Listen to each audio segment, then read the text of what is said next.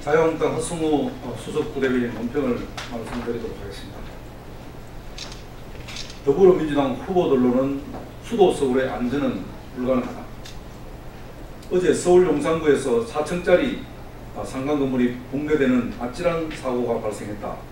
이 건물 1, 2층은 식당이 영업하고 있어 만약 어, 평일이었다면 자칫 대형 참사로 이어질 뻔했다. 이번 붕괴 사고는 더불어민주당 소속 서울시장과 용산구청장의 100% 인재다.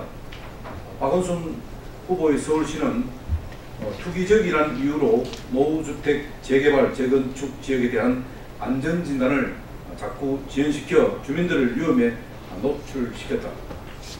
이 건물은 한 달 전부터 붕괴 조짐이 있어 주민이 구청에 민원을 제기해 왔지만 용산구 공무원들은 복지부동 무사 안일한 대응으로 사태를 키웠다.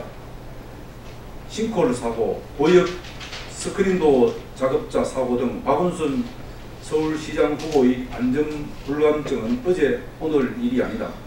이제만 하면 터지는 안전사고 때문에 서울 시민들은 항상 불안에 떨어야 했다.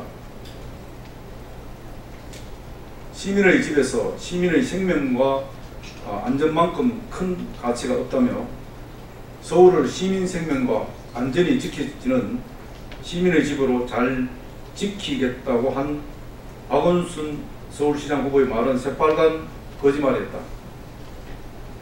박원순 후보는 사고 현장을 방문해서는 재개발, 재건축 지역인지 아닌지를 떠나 구청은 위험 건물이라고 판단되면 챙겨야 한다며 마치 어, 남 얘기하듯 책임을 구청에 떠넘겼다.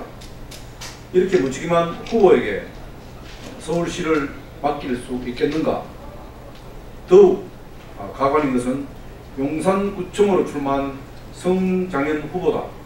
사태를 이재경으로 만든 현 용산구청장인 성 후보는 현재까지 아무런 입장 표명도 없다. 후안 묻히라도 말도 부족한 파렴치한 어, 후보다.